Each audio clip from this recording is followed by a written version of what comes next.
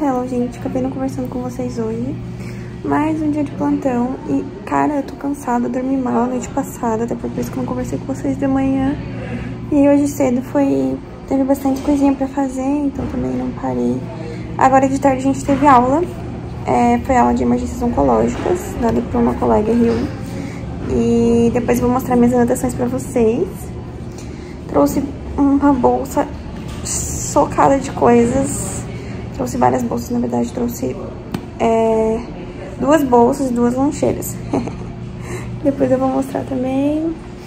E agora provavelmente eu vou ficar um tempo sem conversar com vocês, porque tem uma chefe aqui no, no nosso aquário junto com a gente. A gente chama de aquário, que é o lugar que a gente fica, tá?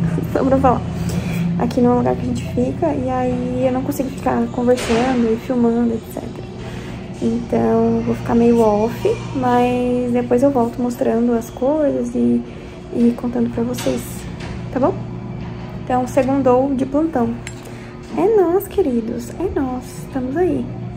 Uma pausa agora que eu vi que a minha unha é da cor da minha máscara. Olha que engraçado a unha da cor da máscara, gente do céu. Tá que nem meu tênis, que combina com a minha garrafa, que combina com o meu casaco, que combina com a minha lancheira que tá ali, ó. É muita coisa. Gente, vim aqui na Copa comer uma tangerina. Porque eu tô, tipo, me sentindo... Sabe quando você tá cansado, assim? Mas não é um cansaço. É tipo uma dor de cabeça, com uma agonia do lugar que você tá. Tô assim. Então, vim aqui comer um negócio pra mudar de ambiente e... E... Descansar um pouco pensando até em não tem um lugar aqui que é um, um espaço de convivência. Tô pensando em ir lá. Dá uns 10 minutos assim. Vocês vão ver. Então, gente, primeira coisa que eu fiz hoje foi fazer uma lista de tudo que eu tinha pra fazer. Tanto aqui da enfermaria quanto das outras coisas. Então, eu cumpri todas as coisas, quase todas as coisas que eu tinha pra fazer aqui da enfermaria. Só falta atualizar a nossa passagem de plantão, que esse eu vou fazer um pouco mais tarde, eu sempre deixo pra fazer mais perto da hora de ir embora. Que aí eu tenho certeza que eu deixei coisa, as coisas mais atualizadas possível. É a única coisa que falta. Essa passagem de plantão é um arquivo, um, tipo um Word, que a gente vai atualizando conforme os pacientes, para facilitar na hora de passar a visita. Então ali a gente coloca o, que, é, o peso do paciente, a idade é, por qual motivo está internado, o que está recebendo de medicação e os exames, para a gente ter bem à mão na hora de passar a visita. E então é só isso que falta eu fazer. E agora eu tô aqui com as redes abertas para liberar o vídeo de hoje, que tava pronto já, só falta fazer a capa mesmo e descrição, essas coisas. É, então eu tô com ele aqui. E depois eu vou parar pra jantar também, vou jantar aqui no hospital. E é isso, a princípio. Hello, gente. Então, já atualizei a passagem de plantão. Atualizei o quadro, que é esse quadro aqui. É... Esse quadro a gente só coloca as pendências, assim, que ficaram. E aí agora tô aqui esperando, na verdade, né? Tipo, se acontecer alguma coisa, eu tô aqui, aí até o horário. Uh, pra vocês não terem dúvida disso, eu vou repetir, né? O horário dos residentes aqui é até meia-noite na enfermaria, mas não significa que não tem médico caso alguma coisa aconteça, tá? É, tem os médicos da UTI, tem pediatra também no, no pronto-socorro, tem médico no pronto-socorro, tem médico no centro obstétrico, então é, sempre tem alguém caso as crianças precisem, né? É só nós, residentes, que não fazemos esse horário da meia-noite até ali perto das sete da manhã. Mas excluindo isso, tem gente aqui sim, tá? Então não se preocupem com isso, que eu sei que tem bastante gente aí que comentou sobre isso, mas não se preocupem. até medo de falar qualquer coisa. Tô bem quietinha aqui no meu canto, só esperando. Tô até com medo. Ó, no cabelinho assim. Saindo! Com a quantidade de praia. Gente, eu carrego muita coisa, Deus que me perdoe. Eu carrego muita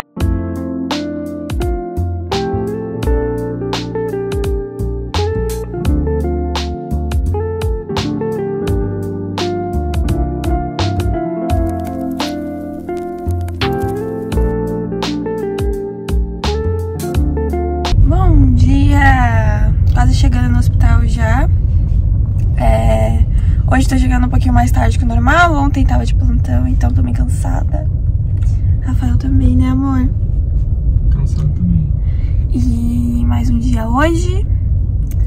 Vamos ver como vai ser. Por enquanto, zero novidades.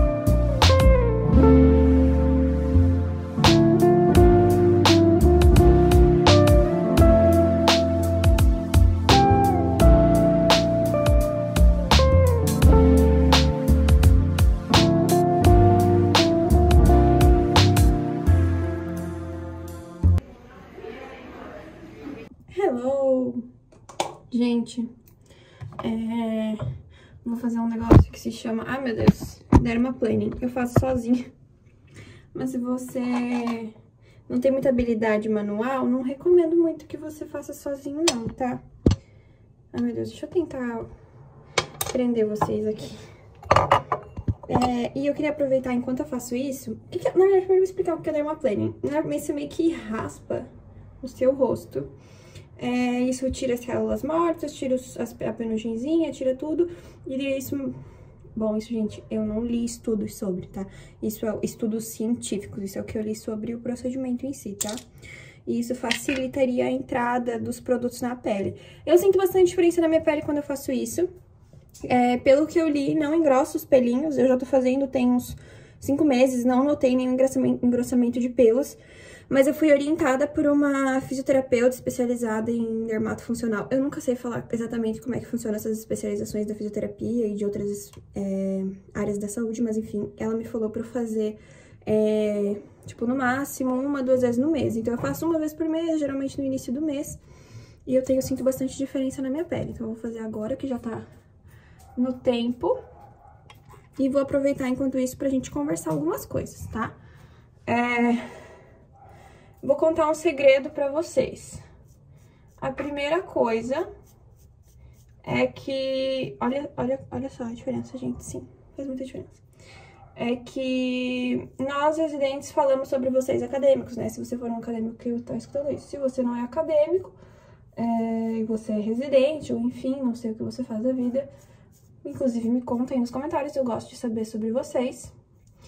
É, a gente comenta sobre os acadêmicos e tal, sobre as posturas, sobre como a gente era quando era acadêmico, a gente fala sobre tudo isso, tá? E aí, gente, eu tenho pra falar pra vocês. Cara, tenha respeito, velho. Ó, indignada, né? É, não tô falando sobre quem tá passando comigo agora, ou sobre pessoas em específico, coisas, ou tipo, coisas assim. Não, eu quero falar, tipo, de coisas que a gente escuta, sabe? Tenham respeito, tenham respeito, é isso que eu tenho pra falar. Se tá tendo passagem de caso, não fica mexendo no celular ou conversando com o teu coleguinha do lado, porque tu tá atrapalhando se tu tá fazendo isso, tá? Tu tira a atenção das pessoas que estão discutindo o caso, é tu perde o foco, as pessoas que estão ali participando perdem o foco também. Então atrapalha, e atrapalha de verdade, tá? É... E eu, assim, se me atrapalhar, eu vou falar. Eu não tenho muita, muita vergonha de falar, não. Principalmente porque aquilo ali que eu tô fazendo não é brincadeira, entendeu? Tipo, eu sou responsável pela vida de uma pessoa. Então aquilo ali não é brincadeira. As coisas que a gente discute, que a gente decide com os chefes, não é brincadeira. Então, se uma pessoa tá atrapalhando a visita, eu acho assim que ela tem que se retirar. Porque aquilo ali não é brincadeira, em nenhum momento a gente tá ali pra brincar, sabe? E se tu tá ali pra aprender, não me interessa qual especialidade tu vai fazer, tu tem que passar por aquilo, sabe? Então, cara, tenham respeito, pensem antes de fazer as coisas, porque vocês podem estar tá sendo bem inconvenientes. E a gente lembra de quem faz essas coisas, tá? A gente não esquece, não. A gente lembra.